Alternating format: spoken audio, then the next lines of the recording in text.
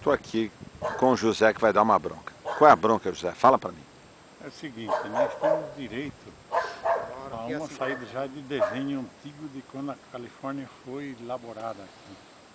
Vila Uma Califórnia. travessa saindo pela rua Antena.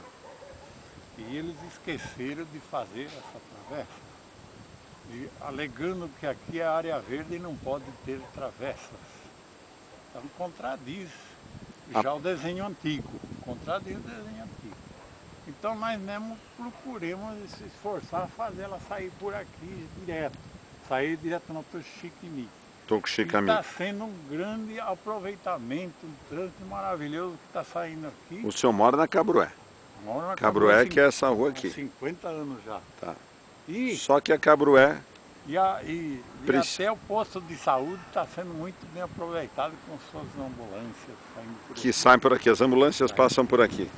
Isso Se vier com o paciente é capaz de morrer, né? A hora que passar por aqui. É tanto buraco que o paciente é capaz de morrer dentro da ambulância. Ou seja, a prefeitura não está dando devida atenção a esse trecho eh, da Praça Conde Francisco Januário, que nem é praça e nem é rua. Justamente. Precisa ter uma solução a essa questão aqui. Prejudicando a Vila Califórnia, os moradores, o trânsito e também O posto de saúde, o AMAS, Elival, Bruscagim, que fica aqui na Califórnia. Correto. Essa é a tua bronca. É. Obrigado. Resumindo, né? É. Resumindo. Obrigado pela tua bronca.